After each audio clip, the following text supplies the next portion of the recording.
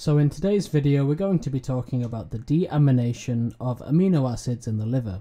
So the liver is quite important in protein metabolism.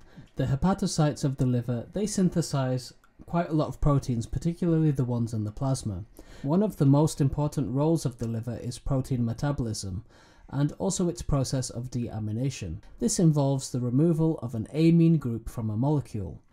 The reason this happens is because the body can't store proteins or amino acids.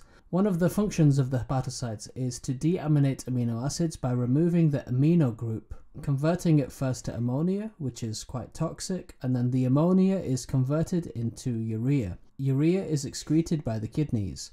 The rest of the amino acid, which has had the amino group removed, undergoes cellular respiration in order to produce ATP, or it can be converted into lipids for storage.